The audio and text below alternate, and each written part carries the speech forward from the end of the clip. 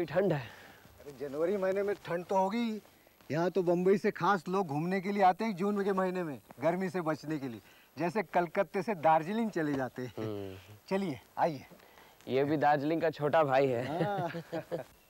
अरे आए थे ड्रेस साहब। अरे तुम का रास्ता कैसे भूल गया आज? अरे इस ठंड में तुम्हारे पास कौन आएगा सौरभ? सभी कमरे खाली होंगे तभी तो चला आया। खाली है ना? अरे दो महीने से सब खाली है। हाँ। खाली तुम दो पहला आदमी है जो इधर आया। ये हैं हमारे कलकत्ता के मित्र योमकेश बख्शी। पहली बार बम्बई आए हैं। सोचा इन्हें हमारे पुणे और महाबलेश्वर घुमा लाओ बस आज ही पुणे से ही आ रहा हूँ। और ये है सोहराब होम जी पहले बम्बई में थे। अब इस होटल के मालिक हैं। बस दो ही महीने हुए। इसे खरीदा ही नहीं मैं चलता हूँ। कल मिलते ठीक है। आइए। आइए।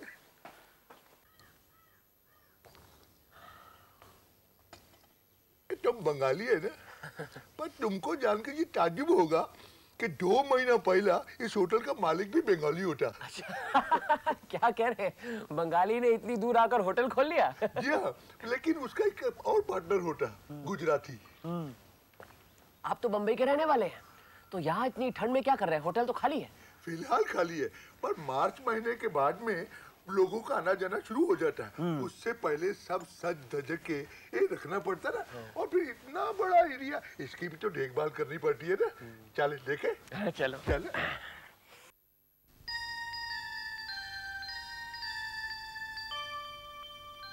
काफ़ी गहरी खाई है। बहुत बड़ी खाई है बहुत बड़ी।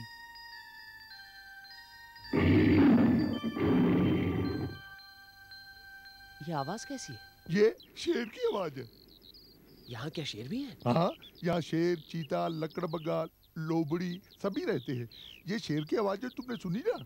उसे इंसान के खून का चस्का लगा हुआ है इसलिए जगह छोड़ के नहीं जाता।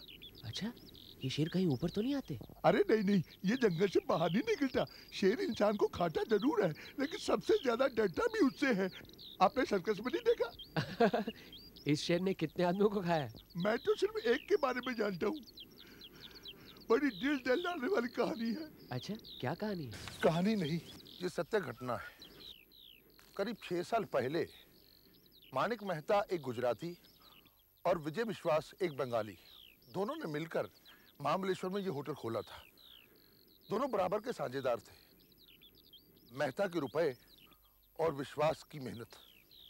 मेहता के और भी कई धंधे थे। इसलिए वो महाबलेश्वर में नहीं रहता था।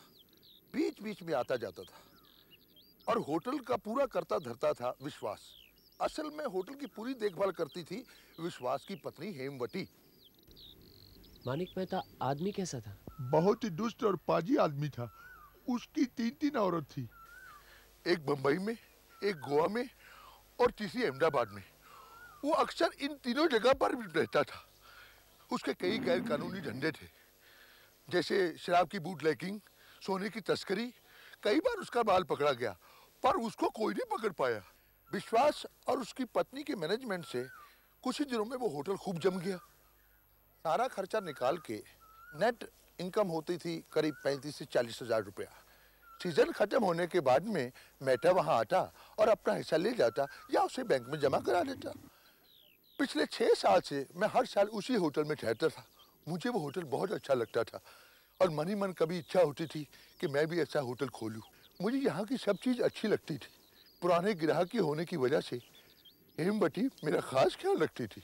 मिस्टर होम जी अगले साल जब आप आएँगे तो हमें यहाँ नहीं देख पाएँगे। अरे क्यों नहीं देख पाएँगे? होटल बेचने का सोच रहे हैं। हमारे पार्टनर ये होटल बेचना चाहते हैं और हम भी राज़ी हो गए हैं। वैसे भी यहाँ की सर्दी अब मेरे पति को बर्दाश्त नहीं होती। हम सोच रहे हम बंगाल चले जाएँ। जब से शादी हुई है बाहर ही रहें। ये तो बड़े अफसोस की बात है।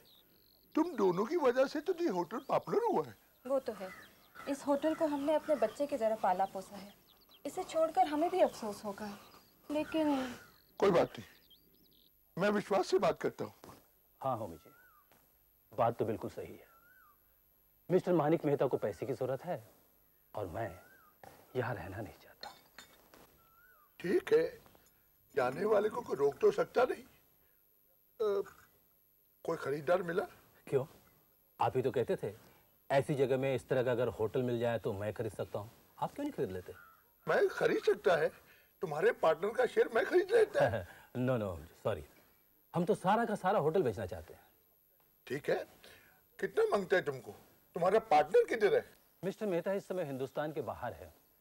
इस होटल को बेचने के लिए मुझे पावर ऑफ़ अटर्नी दे गए हैं। मैं आपको दिखा सकता हूँ। आखिर नब्बे हज़ार में फैसला हुआ। लेकिन प्रॉपर्टी खरीदना का दो चार दिन का काम तो नहीं है। ना दलील दस्तावेज़ तैयार करवाना वकीलों से मशवरा करना रजिस्ट्री ऑफ़िस के दफ्तर के चक्कर लगाना ये करते करते दो महीना गुजर गया। जिस दिन रजिस्ट्रेशन हुआ उसके दूसरे रात को नौ बजे माणिक मेहता महाबलेश्वर से दो किलोमीटर दूर गाड़ी छोड़कर पैदल होटल में आया।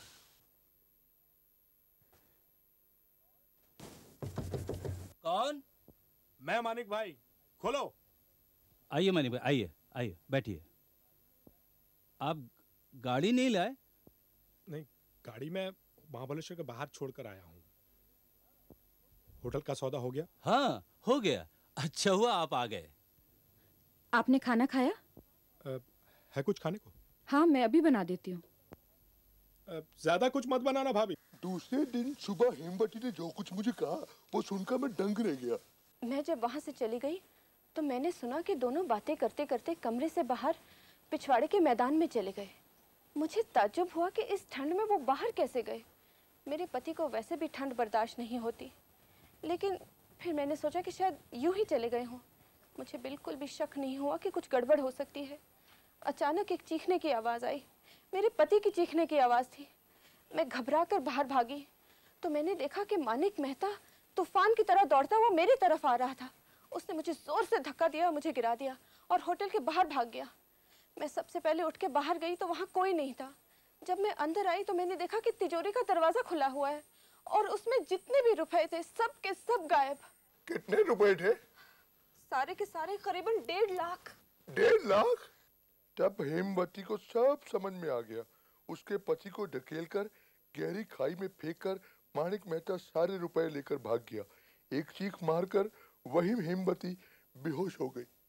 दूसरे दिन सुबह पुलिस आई। दो चार दिन की छानबीन के बाद कुछ और बातें भी पता चली। तब से मालिक बेटा फरार है।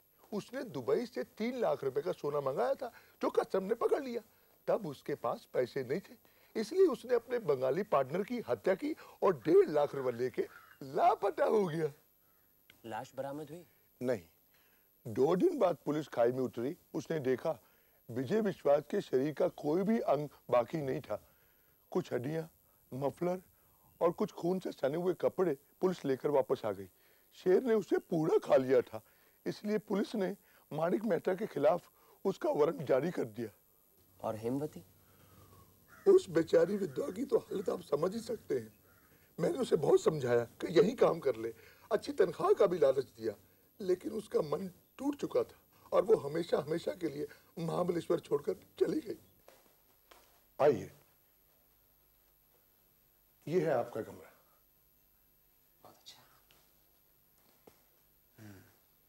इस कमरे में पहले विजय विश्वास और उसकी पत्नी रहते थे।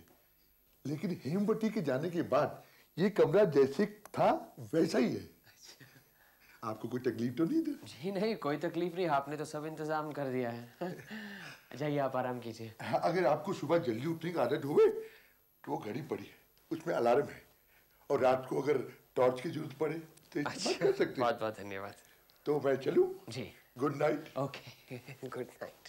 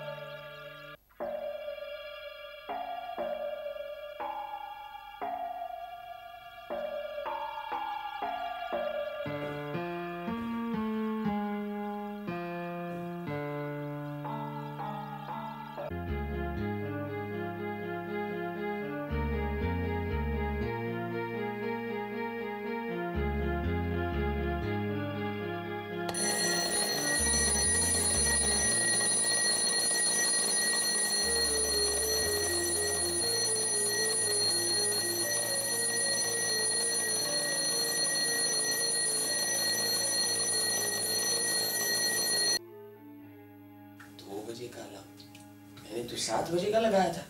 ए, पहली रात नींद तो ठीक से आई ना? वो तो ठीक थी लेकिन आपका जो टाइम पीस है क्या वो जब चाहे बज उठता है? नहीं तो क्यों? कल रात को दो बजे ही बज उठा और मैंने अलार्म सात बजे का लगाया था। अरे टाइम पीस है खराब हो गया होगा मेरे पास दूसरा भी है मैं बदली कर देगा। नहीं नहीं उसकी कोई ज़रूरत नहीं मैंने तो यूँ ही लगा लिया था वैसे तो ज़रूरत नहीं बस पड़ा था लगा लिया। अरे आइए आइए देश पांडे साहब। आओ आओ। अरे सखाराम एक चाय लाओ अरे नहीं नहीं सोरा मुझे चाय नहीं चाहिए चाय पी क्या? बोलो क्या चल रहा है? अरे कुछ नहीं देश पांडे। मैं विजय विश्वास की मौत के बारे में इनको बता रहा था। अरे वही जिसको शेर खा गया। अच्छा अच्छा। बस यही बात मुझे आखिर थी। अभी ओमकेश जी आप ही बताइए क्या शेर मुर्दे को खा सकता? है भाई, गोश्त ताज़ा है या बासी, इससे शेर को क्या फ़र्क पड़ता है? ये बात नहीं व्योमकेश, सवाल ये है, नंबर एक, विजय विश्वास काफ़ी ऊंचाई से नीचे गिर पड़ा। वो खुद गिरा या उसे किसी ने धकेला?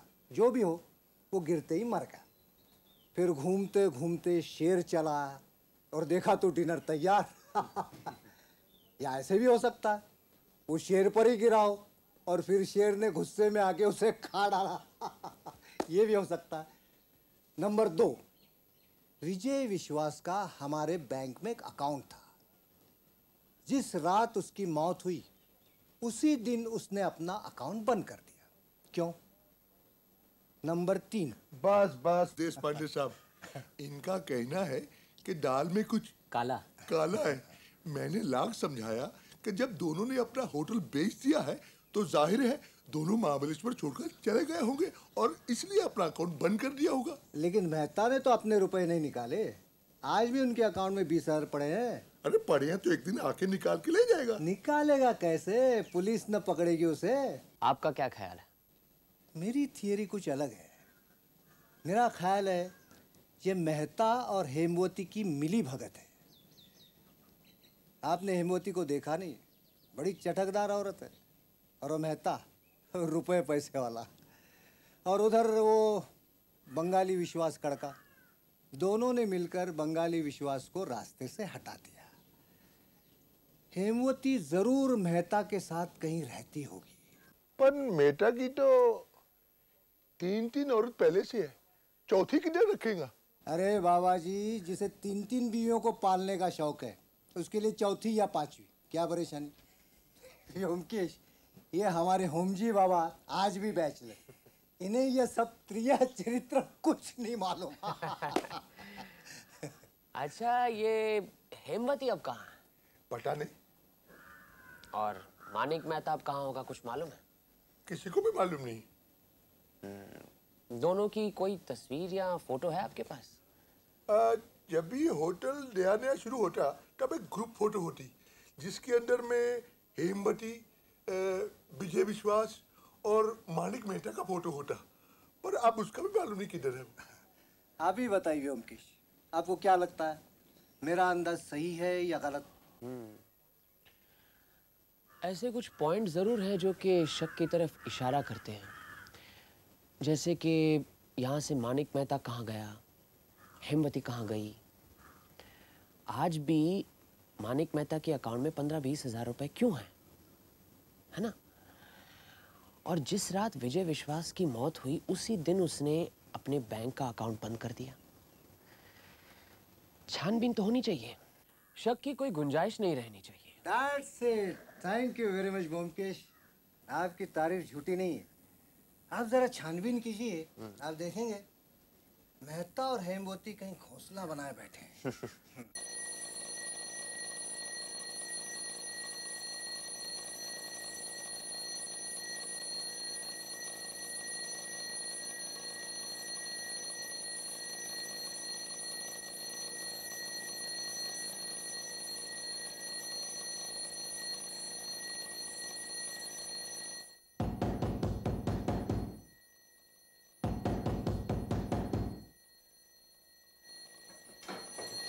क्या बात है मिस्टर बख्शी?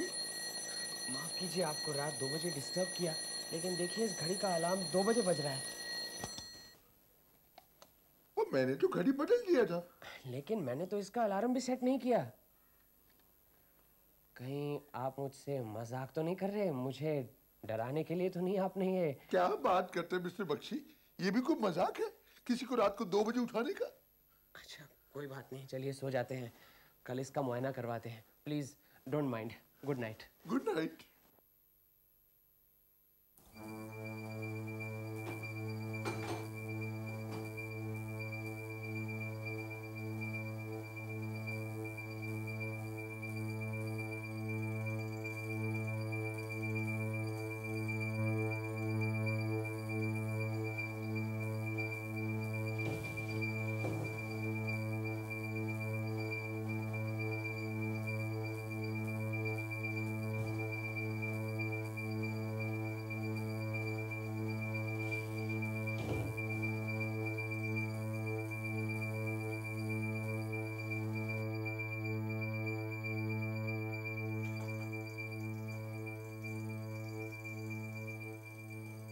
ये घड़ी दो बजे क्यों बज उठती है? इसी कमरे में विजय विश्वास और उसकी पत्नी भी रहती थी। विजय का खून हो गया। कहीं उसकी प्रेत आत्मा तो यहाँ मंडरा नहीं रही। और फिर विजय ने उसी दिन अपने बैंक का अकाउंट क्यों बंद कर दिया? फिर मानिक मेहता कहाँ गायब हो गया? क्या हेमवती सचमुच खराब औरत थी? अपने पति को भी मरवा दिया? यकीन तो नहीं होता दोनों का फ़ोटो भी गायब है मनुष्य का चरित्र भी अजीब है। लेकिन कहीं कुछ गड़बड़ ज़रूर है। मिस्टर बख्शी? ए mister Bakshi? Mister Byomkesh? Good morning good morning क्या बात है मैं? हाँ? दस बजने को आया। दस बज गए? हाँ। तुम बाहर नहीं आया हम समझा जाने क्या बात है? हम बोले तुम्हारा तबीयत तो ठीक है ना? नहीं नींद ही नहीं खुली। अलार्म नहीं लगाया होगा। अरे अलार्म तो सही सलामत अलमारी में है उसे कपड़ों में दबा कर रखा है कि कहीं बज उठे तो नींद कम से कम खराब ना हो। अच्छा उसे भी लेते आना। अच्छा, अच्छा, अच्छा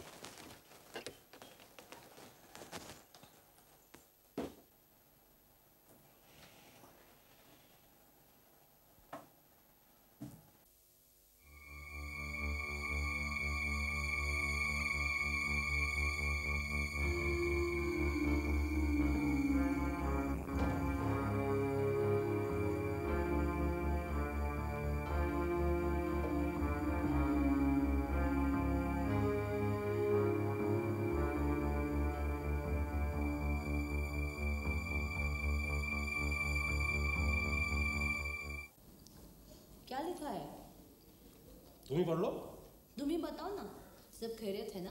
हम्म। लिखा है पहले ही दो दिन लगातार रात के दो बजे अचानक अलार्म घड़ी बज उठती थी। लगता है वहाँ भूतों का डेरा है। भूत का ही लिखा है ना?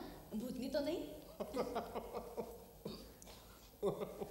अरे भाभी यहाँ तो भूत लिखा है। हाँ तुम अगली चिट्ठी में पूछ लेना कि भूतनी तो नहीं है।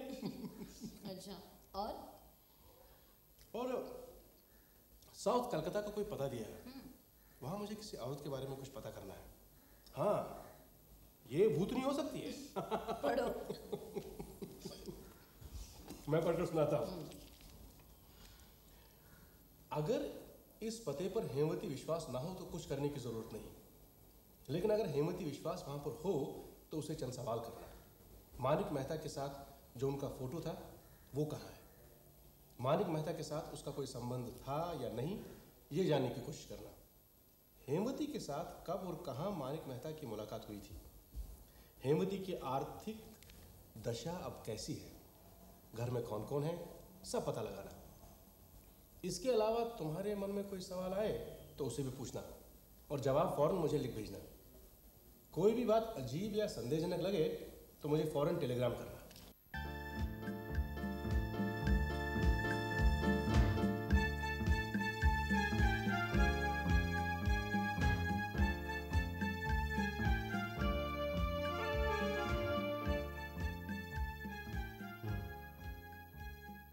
सुरेश तुम एक काम करो।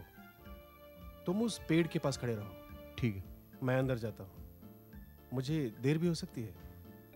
अगर मुझे काफ़ी देर हुई ना तो तुम कुछ भी सिगरेट बीड़ी पीते रहना। ऐसा लगना चाहिए जैसे तुम किसी का इंतज़ार कर रहे हो। मगर ध्यान रखना कि इस मकान से कौन निकलता है कहाँ जाता है क्या हुलिया है और कौन अंदर आता है। अगर मैं बुलाऊं ना तो अंदर आ जाना। ठीक है जाओ। अरे जाओ ना खड़े खड़े क्या देख रहे हो? एक सिगरेट तो दो।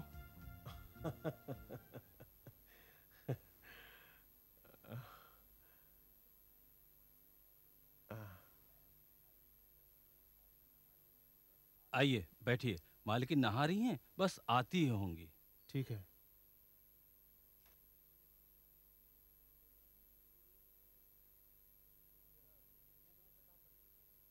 तुम यहाँ कितने दिनों से काम करते हो? नया हूँ सरकार। करीब एक महीना हुआ है। हम्म। कहाँ के रहने वाले हो? जी फरीदपुर का हुजूर। यहाँ कलकत्ता में कितने दिनों से हो? जी कलकत्ता। करीब तीन साल हो गए हुजूर। अच्छा अच्छा अच्छा। ये यहाँ इस इस घर में कितने लोग रहते हैं? जी मालकिन अकेली रहती है सरकार। मालकिन अकेली रहती है? आ, कोई मर्द नहीं रहता? मैं हूँ ना सरकार उनकी देखभाल के लिए। मेरा मतलब है यहाँ कोई आता जाता नहीं है? नहीं सरकार आप ही पहले आदमी हैं। अच्छा रघु तुम जाके गुसलखाना धो दो और जो कपड़े हैं उनको धो के सुखा देना। जी मालकिन। आप बैठिए। आप महाबलेश्वर से आए हैं? जी नहीं। मेरे मित्र बोमकेश बख्शी महाबलेश्वर घूमने गए हैं। उन्होंने मुझे एक चिट्ठी लिखी है। कहा कि मैं आपसे मिलूं। आप भी बैठी ना? तो क्या मानिक मेहता पकड़ा गया? जी नहीं अभी नहीं। तो मुझसे क्या ज़रूरत है? मेरे मित्र बोमकेश बख्शी ने कहा है कि मैं आपसे मिलूं। बोमकेश बख्शी कौन है? पुलिस का आदमी है। बोमकेश बख्शी का नाम नहीं सुना? कलकत्ते के मशहूर जासूस हैं। उनका ज़िंदगी में एक ही मकसद है सत्य की खोज करना। मेरा वक्त ज़्यादातर बंगाल के बाहर ही कटा है। यहाँ के हालचाल का कुछ पता नहीं। वैसे भी मैं घर से ज़्यादा बाहर नहीं निकलती। माफ़ कीजिए दरअसल मानिक मेहता को पकड़ने के लिए ही भूमकेश बख्शी आपसे कुछ सवाल करना चाहते हैं। आप ये बताइए कि मानिक मेहता से सबसे पहले आपकी मुलाकात कब और कहाँ हुई? छः साल पहले। उस वक्त अहमदाबाद में हमारा एक छोटा सा होटल था। पता नहीं वो कौन सी मनहूस घड़ी थी जब उनसे मुलाकात हुई। अच्छा क्या आप मानिक मेहता से काफ़ी घुल मिल गई थी? जी नहीं। मैं उन्हें कुल छः या सात बार मिली होंगी। उनका उठना बैठना मेरे पति के साथ होता था। वैसे भी वो साल में एक या दो बार आते थे। वो भी चोरी छिपे। अपने हिस्से का पैसा लेकर चुपचाप चला जाता था। हम्म। अच्छा उनके इस इस तरह चोरी छुपे आने से आपके मन में कभी कोई शक नहीं पैदा हुआ? जी नहीं। हमने तो सोचा था उनका स्वभाव ही ऐसा है। वो अपने आप को ज़ाहिर नहीं करना चाहता था। हम्म। उनकी कोई तस्वीर है? एक तस्वीर थी ग्रुप फ़ोटो। सयादरी होटल के दफ्तर में लटकी हुई थी। जिस रात मेरे पति गुजर गए उस दिन के बाद वो फ़ोटो भी गायब थी वहाँ से। उस रात ऑफ़िस की अलमारी में कितना रुपया था? कुछ ठीक नहीं कह सकती। करीबन डेढ़ लाख होगा। हम्म और वो सारा रुपया लेकर मानिक मेहता भाग गया। और कौन लेगा? अच्छा बहुत बहुत धन्यवाद। आपको काफ़ी तकलीफ़ दी। मैं आज ही मुमकेश बाबू को चिट्ठी लिखूँगा और आपसे इस मुलाकात के बारे में भी लिखूँगा। अगर ज़रूरत पड़ी तो फिर आऊँगा। ज़रूर। लेकिन मैं यहाँ रहती हूँ। ये आपके मित्रों को कैसे पता चला? मैंने तो अपना पता किसी को नहीं दिया।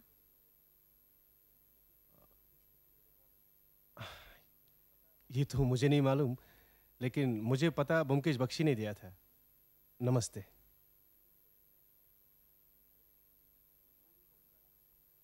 अरे काफ़ी वक्त लगा दिया। काम बना? हेमवती से मुलाकात तो हो गई। उसे जो पूछना था, पूछ लिया। लेकिन काम बना कि नहीं, कह नहीं सकता। मानिक मेहता कहाँ है, इस बात का पता नहीं चला। चलो। जी। आप जब बोमकेश बाबू को चिट्ठी लिखेंगे तो लिखना कि महिला के सोने के कमरे में दो खाट है। तुम्हें कैसे पता चला? आप तो अंदर जाकर जम गए।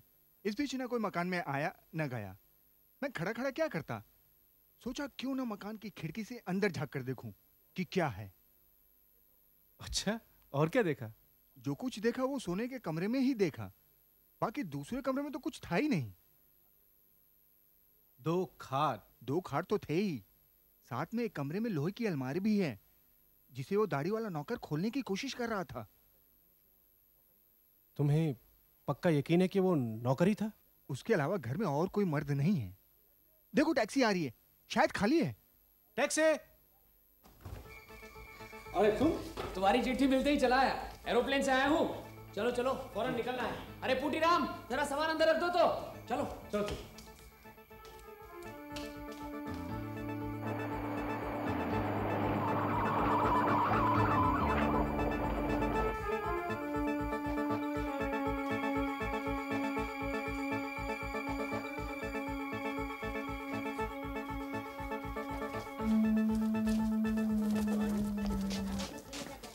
ये दरवाज़ा तो खुला है।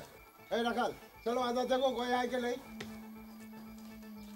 मुझे नहीं लगता कोई है वरना इस तरह खिड़की दरवाजे खुले छोड़कर नहीं जाते। सर कोई नहीं है। हाँ? लगता है चिड़िया उड़ गई। चलिए सर। अब बताओ ना क्या बात है? पहले मैं अजीत से दो चार सवाल पूछूँगा। हम्म, पहला ये कि उस रात को मानिक मेहता विजय विश्वास का खून करने उसे खाई के नज़दीक क्यों ले गया? हम्म? और विजय विश्वास अंधेरी रात में यूँ ही खाई के नज़दीक उसके साथ क्यों चला गया? अब खाई में फेंकने के लिए खाई के नज़दीक नहीं ले जाएगा क्या? अच्छा। अब विजय विश्वास उसके साथ क्यों गया ये नहीं मालूम। दूसरा सवाल। उसी दिन विजय विश्वास ने अपने बैंक के अकाउंट से सारा पैसा निकालकर अकाउंट बंद कर दिया। क्यों? क्या मालूम? तीसरा सवाल। मानिक मेहता के अकाउंट में अब भी बीस हज़ार रुपए हैं। क्यों? अरे भाई मानिक मेहता कहीं छुपा बैठा है। अगर वो कहीं पैसे लेने आएगा तो पकड़ा नहीं जाएगा। हम्म, हम्म, हाँ हाँ अच्छा। अब ये बताओ जिस दिन तुम हेमवती से मिलने गए हाँ। सर्दी की शाम थी। हम्म? हाँ हाँ। और नौकर ने आकर बताया कि वो स्नान करने गई है। तो तुम्हें क्या कोई शक नहीं हुआ? शक क्यों होगा? अच्छा पांचवा सवाल। नौकर पर क्या शक नहीं गया? नौकर पे शक करने की कोई वजह ही नहीं थी। अ, कुछ ही दिनों से वहाँ वो काम कर रहा था। हाँ अगर ये सच है कि वो अलमारी खोलने की कोशिश कर रहा था तो दूसरी बात है। बिल्कुल भोलेनाथ के भोलेनाथ हो तुम। हाँ? नौकर अलमारी खोलने की कोशिश ज़रूर कर रहा था लेकिन चोरी करने के लिए नहीं। महाबलेश्वर में दो लोगों ने खून करने का षड्यंत्र रचा था। उसमें एक थी हेमवती दूसरा कौन था? हेमवती? हम्म। दूसरा मानिक मेहता के अलावा और कौन हो सकता है? यही तो धोखा है बहुत बड़ा धोखा। हेमवती ने षड्यंत्र रचा अपने पति के साथ मानिक मेहता के साथ नहीं हाँ हेमवती में और जो कोई भी दोष हो लेकिन पतिव्रता थी इसमें कोई शक की बात नहीं। ये ये तुम क्या कह रहे हो? अब जो कुछ भी कह रहा हूँ ध्यान से सुनो। जब होम जी ने अपनी कहानी सुनाई तो मुझे कुछ जमी नहीं। मुझे लगा ज़रूर कहीं कुछ गड़बड़ है। मानिक मेहता विजय विश्वास को खाई के नज़दीक क्यों ले गया? और विजय विश्वास जो कि ठंड से घबराता था बाहर ठंड में क्यों निकल पड़ा? उसी दिन उसने बैंक से सारा पैसा क्यों निकाला? अगर कोई निकालता तो मानिक मेहता होना चाहिए ना? फिर उस दिन होटल के कमरे की अलमारी में मुझे एक कागज़ का टुकड़ा मिला। उस पर कलकत्ते की उपनगरी का एक पता लिखा हुआ था। तब बात कुछ समझ में आई। लेकिन जब तुम्हारी हेमवती से भेंट की चिट्ठी मिली ना, तब मामला साफ़ हो गया। मैंने वहाँ के इंस्पेक्टर आपटे को सब बता दिया। उन्होंने आगे कलकत्ता पुलिस को इत्तला दी और फिर उन्होंने मेरे एरोप्लेन में यहाँ आने का बंदोबस्त कर लिया। अब ये बात तो साफ़ है कि हेमवती और विजय विश्वास आज भी फरार है लेकिन किसका खून हुआ है और खूनी कौन है इस बात का पता चल गया। कैसे पता चल गया? मुझे तो कुछ समझ में नहीं आया। बताओ ना सचमुच क्या हुआ था? अब सच क्या है ये तो हेमवती और विजय विश्वास ही बता सकते हैं। लेकिन एक ना एक दिन ज़रूर पकड़े जाएँगे, इसमें कोई शक नहीं। फिर पता चलेगा। अब जो कुछ भी हुआ, वो कुछ इस तरह है। पिछले साल, मानिक मेहता का गैर कानूनी सोना कस्टम वालों ने पकड़ लिया। लेकिन वो पुलिस से बच निकला। अब इतना सारा सोना उसका पकड़ा गया था, कंगाल हो गया। अब उसके पास एक ही पूंजी बची थी, महाबलेश्वर का सह्याद्री होटल। सो उसने फैसला किया कि वो होटल को बेच देगा। नगद पैसों की ज़रूरत थी। अब सवाल ये उठता है कि पैसे अगर होटल बेचकर मिलते हैं तो पैसे कौन लेता? मानिक मेहता या फिर विजय विश्वास भी? जहाँ तक मुझे ख्याल है, मुझे लगता है कि जब होटल खरीदा होगा तो सारे पैसे मानिक मेहता ने दिए होंगे। इसीलिए पैसे तो मानिक मेहता को मिलने चाहिए ना। लेकिन मुझे लगता है कि मानिक मेहता ने इस बार सारे पैसों पर अपना हक जताया होगा। उधर हेमवती और विजय विश्वास दूसरा खेल खेल रहे थे। उनका स्वभाव अपराध की तरफ़ झुका हुआ था। इसमें कोई शक नहीं। वो चाहते थे कि सारा पैसा हड़प लें। हाँ मानिक मेहता पुलिस की नज़रों में अपराधी था। इसमें कोई शक नहीं। इसीलिए उन्होंने सोचा कि अगर वो सारा दोष मानिक मेहता के सर मर देंगे तो कोई शक नहीं करेगा। फिर कलकत्ते की उपनगरी में मकान का बंदोबस्त उन्होंने कैसे किया? ये तो मुझे पता नहीं। हाँ पता लगाया जा सकता है, लेकिन वो बात की बात है। मकान का पता हेमवती ने एक छोटे से कागज़ के टुकड़े पर लिख डाला। और फिर उस कागज़ के टुकड़े को उसने अलमारी में रख दिया, ताकि पता उसे याद रहे। लेकिन पता तो उसे, खैर, थोड़े दिनों बाद जुबानी हो गया था, लेकिन वो कागज़ का टुकड़ा अलमारी में भूल गई थी। और यही उसकी सबसे बड़ी भूल। फिर एक रात किसी को कोई शक न हो कोई जान न पाए मानिक मेहता अपनी गाड़ी महाबलेश्वर के बाहर छोड़कर पैदल सह्याद्री होटल की तरफ़ निकल पड़ा। आइए मानी भाई आइए बैठिए। आप गाड़ी नहीं लाए? नहीं गाड़ी में महाबलेश्वर के बाहर छोड़ आया। अच्छा अच्छा। होटल का सौदा हो गया। हाँ हो गया। अच्छा हुआ आप आ गए। आपने खाना खाया? आ, है कुछ खाने को? हाँ मैं अभी बना देती हूँ। ज़्यादा कुछ मत बनाना भाभी। आज रात मैं यहीं रहूँगा। अच्छा। कल चला जाऊँगा। पैसे मिल गए? हाँ निकालो। नहीं नहीं नहीं। कल ले लूँगा।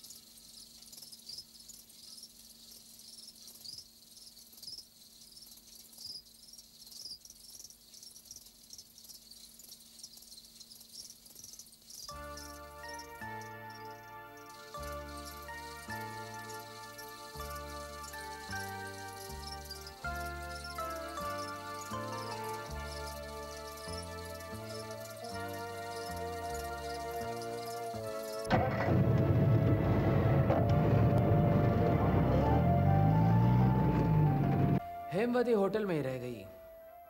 लड़की है हिम्मत वाली, सब कुछ संभाल लिया। एक ही साक्षी थी, उसने जो कुछ कहा, पुलिस को मानना पड़ा। ना मानने की तो गुंजाइश थी नहीं। और फिर मानिक मेहता तो पहले से ही अपराधी था। फिर विजय विश्वास और हेमवती कलकत्ते की उपनगरी में रहने लगे। रुपया पैसा तो उनके पास था ही। चाहते तो ऐशो आराम से शहर में रह सकते थे, लेकिन उन्होंने ऐसा नहीं किया। बड़े होशियार थे। फिर जब तुम हेमवती से मिलने गए और तुमने महाबलेश्वर का ज़िक्र किया तो चौकी तो होगी, लेकिन घबराई नहीं। उसने अपना प्लान शुरू किया। वहाँ तुम्हें बैठक में बिठवा कर खुद घुसलखाने में चली गई और विधवा का वेश धारण किया। तुम्हें तो ये बात खटकनी थी, अजीत? अरे, जाड़े के मौसम में क्या कोई स्नान करने जाता है? फिर जब तुमने मेरा ज़िक्र किया, वो सब भाप गई। उधर रमेश ने देखा कि सोने के कमरे में दो खाट हैं और ये भी देखा कि नौकर अलमारी खोलने की कोशिश कर रहा है। जब मैंने तुम्हारी चिट्ठी में ये दो बातें पढ़ी तो मैं भी सब जान गया और यहाँ चला आया। लेकिन तब तक दोनों निकल भागे थे। उस दिन तुम्हारे जाने के बाद वो समझ गए थे कि उनका यहाँ रहना ठीक नहीं है, इसलिए रुपया पैसा लेकर गायब हो गए। भाई अब मैंने पुलिस को तो सब कुछ बता दिया है, हुलिया भी बता दिया है। चोरी एक न एक दिन तो ज़रूर पकड़ी जाती है सो ये भी दोनों पकड़े जाएँगे। हम्म सब तो समझ में आ गया। लेकिन मुमकेश वो रात के दो बजे घड़ी का अलार्म वो कुछ अरे जब घड़ी की जाँच की तो पता लगा कि घड़ी ही खराब थी। दूसरे दिन बदली ही नहीं वो सखाराम घड़ी बदलना भूल गया। और विजय विश्वास तो हेमवती के साथ नहीं था। वो कहाँ रहता था? घर में तो सिर्फ़ एक नौकर था। हाँ रघु। हे भगवान इतना भी नहीं समझ पाए? अरे वो नौकर रघु ही विजय विश्वास था। है?